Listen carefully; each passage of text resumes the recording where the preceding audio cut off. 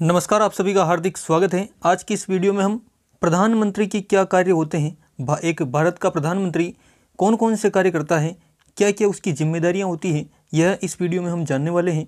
आप मेरे साथ में अंत तक जुड़े रहिए। तो चलिए वीडियो शुरू करते हैं कि प्रधानमंत्री के कार्य निम्नलिखित हैं कौन कौन से हैं। तो वह मंत्रिपरिषद की बैठक की अध्यक्षता करता है। कैबिनेट जो होती है जो मंत्रिपरिषद होता है उसकी बैठक की अध्यक्षता कौन करेगा प्रधानमंत्री करता है।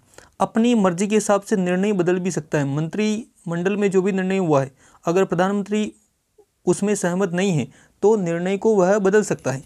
किसी मंत्री को त्याग पत्र देने या उसे बर्खास्त करने की सलाह राष्ट्रपति को प्रधानमंत्री दे सकता है, यह पावर भी प्रधानमंत्री के पास में है।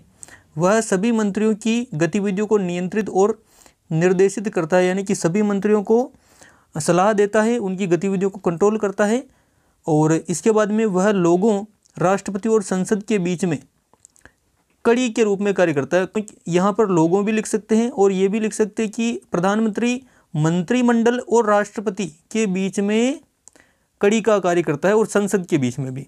सरकार के मुखिया के रूप में प्रधानमंत्री पर पूरी सरकार के प्रभावी संचालन की ज़िम्मेदारी होती है, क्योंकि प्रधानमंत्री है, मंत्रियों का प्रधान है। प्रधानमंत्री इसलिए मंत्रिमंडल की और सरकार की पूरी ज़िम्मेदारी प्रधानमंत्री के पास में होती है। ठीक है ना? ये वीडियो आपको कैसा लगा? कमेंट में अवश्य बताएँ, वीडियो को लाइक करें और चैनल को सब्सक्राइब करें। धन्यवाद।